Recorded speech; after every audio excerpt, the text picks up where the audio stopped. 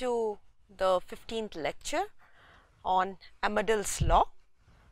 So, till previous lecture what we have seen that how we can summarize all the results and then coming up to a particular solution.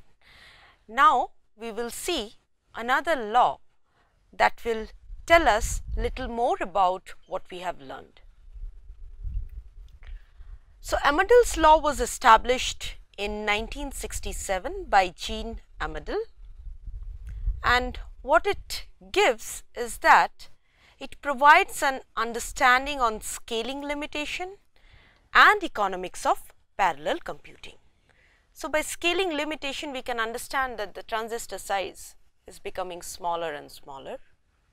So, it gives an understanding on scaling limitation and also on the economics of parallel computing. By economics of parallel computing what we mean is that suppose today we have quad core, we have multi-core technologies. So, when you are investing or when you are having so many cores, are you getting the return? When you are having just one core, how much was your performance? By having more number of cores, are you really getting that advantage that you are supposed to get? So, are you getting that return out of it? So, it also gives us the economics of this parallel computing. And of course, it forms the basis for quantitative principles in computer system design. So, we can actually in a quantitative fashion can tell about the design principles of a computer system. And Amdahl's law is not only for computer system design, it can be applied to other applications as well and for other domains.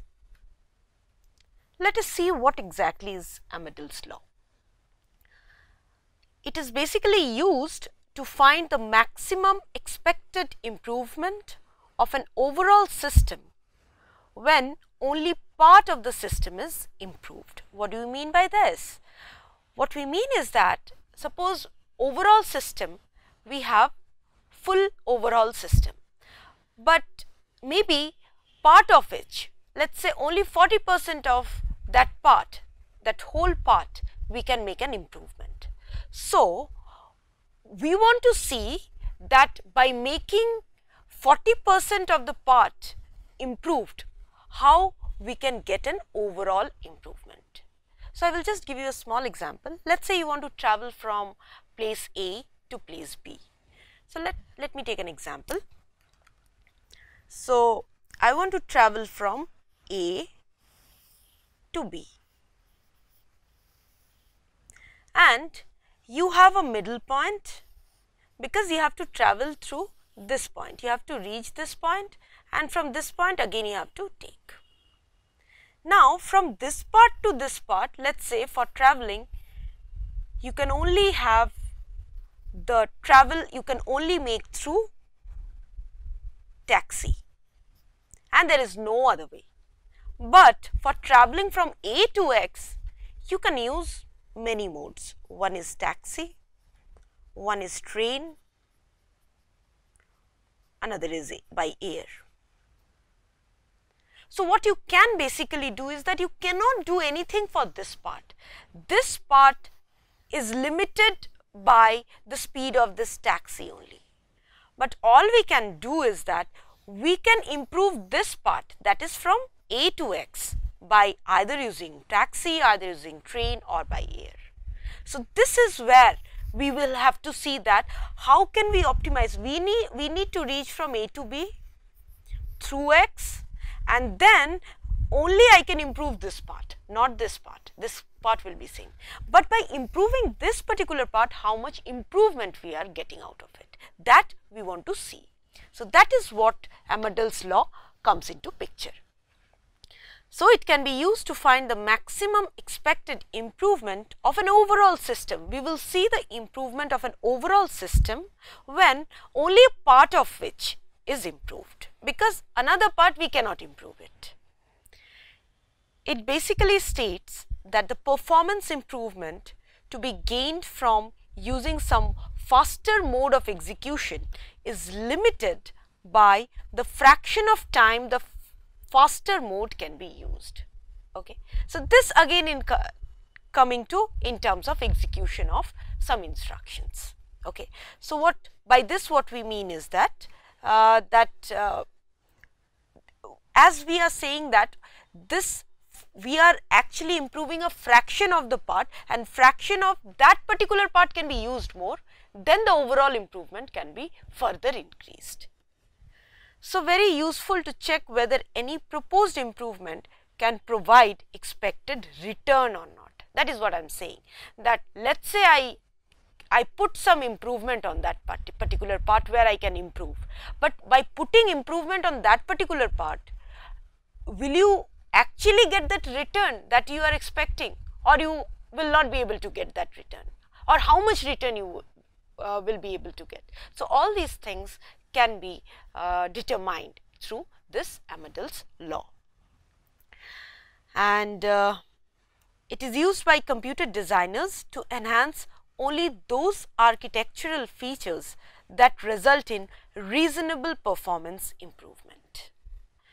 And this is referred as quantitative principles in design.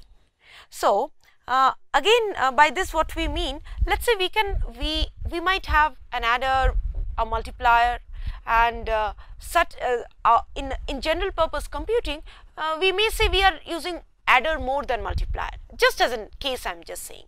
So, in such cases what can happen if you try to improve the multiplier which you are not using much then it will not give you that particular kind of improvement. So, that is also what you have to look into that we are improving a part which is also used more number of times. The number of times it is used is more and we are improving that particular part. So, where we can get overall improvement much more. Amdahl's law demonstrates the law of diminishing return. So, what is that? Let us take an example. Suppose we are improving a part of the computer system that affects only 25 percent of the overall task. So, out of 100 percent only 25 percent of the work can be improved. The improvement can be very little or extremely large. Let us say how. With infinite speed up, so only 25 percent of the part can be improved and we are saying that if we make that 25 percent part task can be done in 0 time maximum that much improvement can be done that it will take no time to finish that 25 percent of the task. But we cannot do anything with the 75 percent of the task. 75 percent of the task remains, but only that 25 percent of the task we are making some improvement. And what kind of improvement? We are saying that we are keeping that time 0. So, in no time that particular task can be performed. So, maximum possible speed up can be execution time original divided by execution time new. So, as uh, the original execution time let us say it is 1, what will be the new execution time? Out of total 100 percent of the task, 25 percent of the task can be done in no time. So, you can just take out that 0.25 which is coming to 1.33. So, we can have a maximum of this much improvement if you can improve that 25 percent and we can say that the 25 percent of the task can be done in no time. So, we can never get a speed up more than 1.33 even if you do whatever you want. We cannot get an overall improvement because we can only make that 25 percent faster because 75 percent still is working at a previous speed. So, Amdahl's law actually concerns the speed up achievable from an improvement in computation that affects a fraction f of the computation where the improvement has a speed up of s. So, on this fraction f we are having an improvement of s. So, total this is the f portion and this is 1 minus f. So, 1 minus f there will be no change and we can only have a speed up of s to this f portion fraction this fractional portion. So, if you can reduce this so it will reduce by it will become f by s. So, earlier it was taking this much time and now it is taking this much time. So, after improvement we can execute the same task by this percentage. So, let us find out how we can find out the overall speed up. So, execution time before the improvement is 1. This was fractional part and this is 1 minus f basically this is 1. And what is the execution time after improvement? We have seen 1 minus f will remain as it is and we have to make improvement on f. So, it will become f by s. So, speed up will be 1 execution time old divided by execution time new that is execution time after the improvement. What it is? This is 1 minus f plus f by s. This is what we have got. So, as s tends to infinity, speed up will actually this if you make this part 0. So, what will happen? The speed up will be 1 divided by 1 minus f that is what we have seen in the previous slide. So, the fraction f actually limits the maximum speed up that can be obtained. So, we cannot make further because it is said that only fraction f can be improved. If fraction f can be improved, we can make the maximum achievable up till with that fraction f. So, let us illustrate uh, this law of diminishing return for f equals to 0.25 by changing the value of s. So, speed up is 1 divided by 1 minus f plus f by s for various values of s we have computed.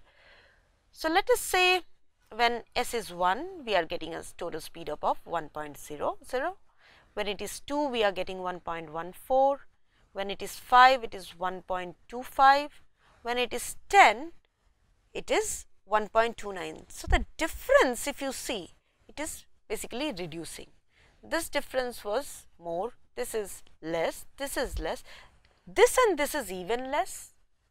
And what we can see is that after certain amount of time that is after certain speed up, we are not getting any further speed up. The speed up is limited by a factor of 1.33 because we have already said we can maxim we can get a maximum speed up of 1.33 that is what we are getting even if you are increasing this fractional speed up by any amount. So, unnecessarily it is no point increasing this speed up as there is a limit to it. because the maximum speed up that can be achievable is 1.33. So, let us take another example where f equals to 0.75. Uh, this table also shows the speed up for various values of s as we increase s how what it depends on how it affects the overall speed up. So, again we see that when S is 1 lakh, then the speed up is 4 and the maximum achievable speed up when the fraction is 0.75 is also 4. So, even if you can increase, if you increase this S, this will remain the same. So, these are some design alternatives using Amdahl's law what we are saying that let us say we have a portion of a program. This is loop 1 and this is loop 2. This loop is of 500 lines and this loop is of 20 lines. But this 500 lines of code, it takes 10 percent of the total execution time, only 10 percent of the total execution time. What do we mean by that is that this takes certain amount of time to execute, but this particular loops is only taking 10 percent of that total time. And this loop 2 which is only 20 lines of code, but it is taking 90 percent of the total execution time. Although this is small portion, but that small portion is taking more amount of time. So, we need to also take into consideration this design alternative. So, let us see if we make some improvement on this particular case where only 10 percent of the total execution time is used for loop 1 and 90 percent of the total execution time is used for loop 2, how do we get? So, let us say we make 10 percent of the program 90 times faster. So, how much speed up we will get? So, this is 10 percent of the program you are making 90 times speed up. So, 1 divided by this is 1 minus f and this is f by s where f is 0.1 and s is 90 because we are making 90 percent speed up on this. And what we are getting? We are getting a value 1.11 the overall speed up. Now, we make 90 percent of the program 10 times faster only, but that portion is 90 percent. So, 1 divided by this is 1 minus f, this is f by 10 and we are getting 5.26 which is much more, but we are only making a speed up of 10 times. So, making 10 times speed up of a portion which is used most which is used most amount of time which is taking more amount of time that is 90 percent it is taking that will give a giving a better result. Similarly, make 25 percent of the program 25 times faster. So, 25 percent we are making 25 times faster and this remains 1 minus f is 0.75 we are getting this much. Similarly, 50 percent of the program making 20 percent faster. So, this is giving 1.90 and if we make 90 percent of the program 50 times faster, we are getting a value where we are getting maximum because this is 90 percent of your program we are making a speed up of 50 percent. So, where you are getting a value of 8.47. So, this is how you can see that if you are making improvement on a part of your program which is used more number of time that will give a better speed up. Let us take another example. Suppose we are running a set of programs on a RISC processor for which the following instruction mix is observed. So, we are having load, store, ALU and branch operation, various kinds of operation that are there. And this is the frequency at which load instructions are taking place. This is the frequency at which store instruction is taking place and so on.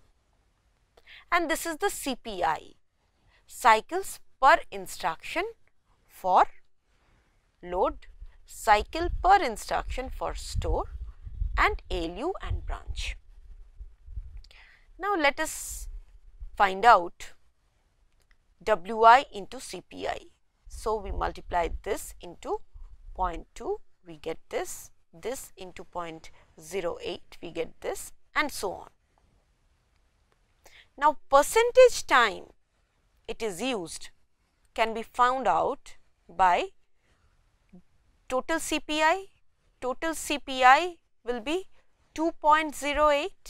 So, if total CPI is 2.08, we will divide 1 divided by 2.08 to get this. This divided by 2.08 we will get this and for this as well as for this. So, what we do this is the given thing and we have found out Wi into CPI and also the percentage time it is used. Now we carry out some kind of enhancement and now we will see what is the improvement that we can get. So, we carry out a design enhancement by which the CPI of load instruction reduced from reduces from 5 to 2. So, earlier this load instruction was taking 5 CPI, now it will take 2 CPI. So, what will be the overall performance? Now, we want to see the overall performance that we will get. So, how do we get it? So, fraction enhanced f is 0.48. So, we can see that we are reducing from 5 to 2 this.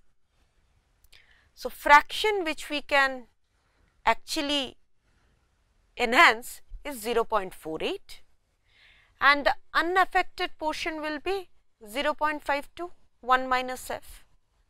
So, if f is this and 1 minus f is 0.52, what will be s?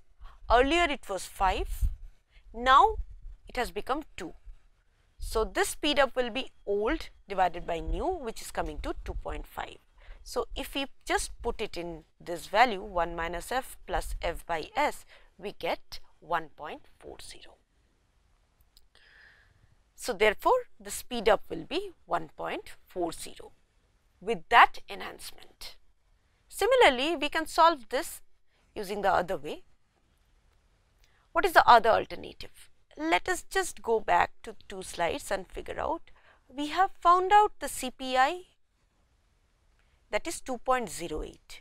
Now, we will make an enhancement, make this as 2 and then we will calculate the CPI once more. So, let us see how to do this. So, old CPI was 2.08 and the new CPI we will same way do 0.20 into 2 plus 0.08 into 3 these will remain same.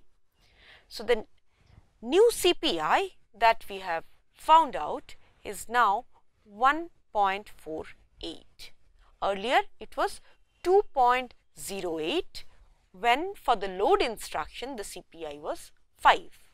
Now, we have made some improvement and made the CPI 2 and we have figured out the new CPI is 1.48. So, with this what will be the speed up? We as we know that speed up is execution time original divided by execution time new. So, the formula of execution time if we recall from our previous lecture it is instruction count into cycles per instruction here in this case will be old into the cycle time CCT or the period we can say and same way IC into CPI new into C. We can just cancel out the other things. What are these two? This is 2.08 divided by 1.48. So, we are getting 1.40. So, either way if we do it, we are getting 1.40. So, these are the two alternative ways through which you can perform this. Let us take another example. So, in this example what we are saying, the execution time of a program on a machine is found to be 50 seconds out of which 42 seconds is consumed by multiply operation. So, most of the time multiply operation is taking more time. It is required to make the program run 5 times faster. Okay. So, the overall speed up of the entire system you want to make it 5 times. By how much speed up of the multiplier by how much must the speed of the multiplier be improved. So, let us say it has been given that you want this 5 times speed up. So, how much this multiplier part can be improved?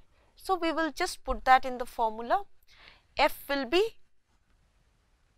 42 by 50 that is 0.84 and according to Amdahl's law speed up is given 5 will be equal to 1 divided by 1 minus f. 1 minus f will be 0.16 that is 1 minus 0.84 plus this fractional part where improvement, how much improvement is required.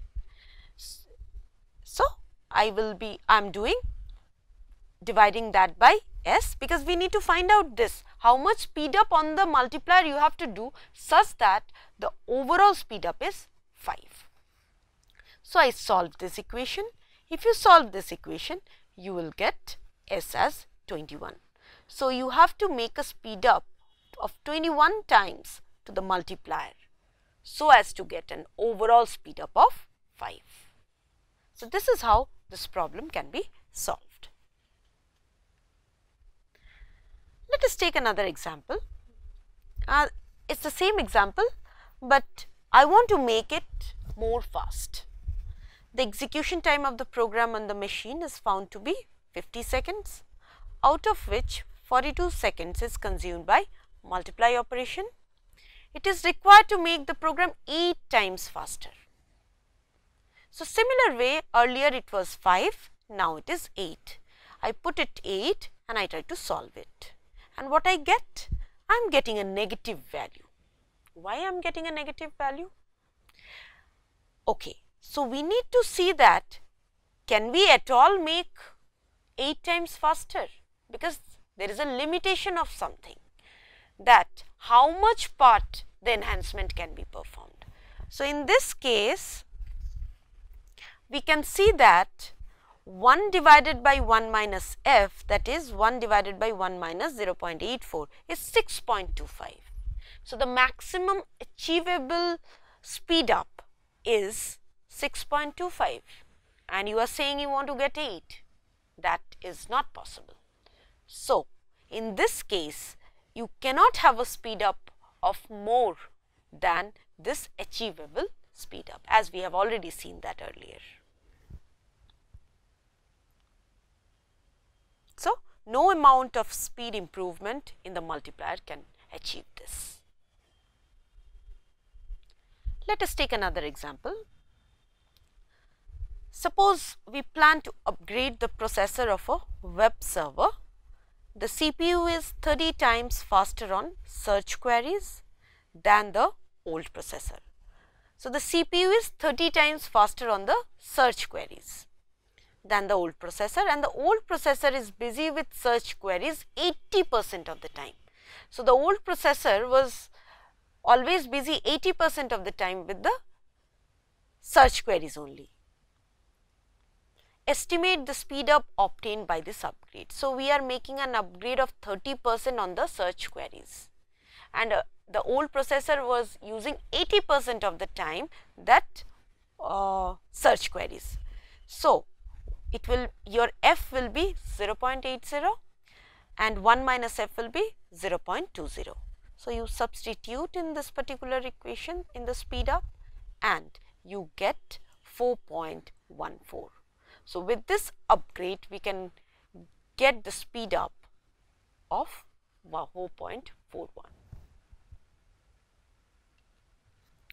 So, in this lecture we have seen what is Amdahl's law and we have also seen that how the speed up maximum speed up can be achievable through this Amdahl law.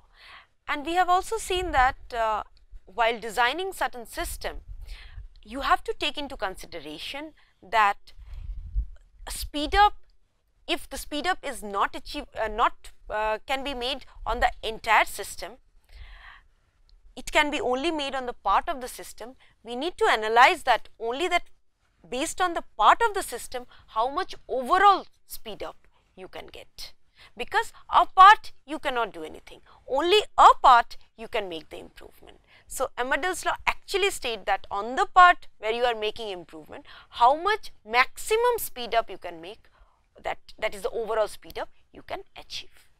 Thank you.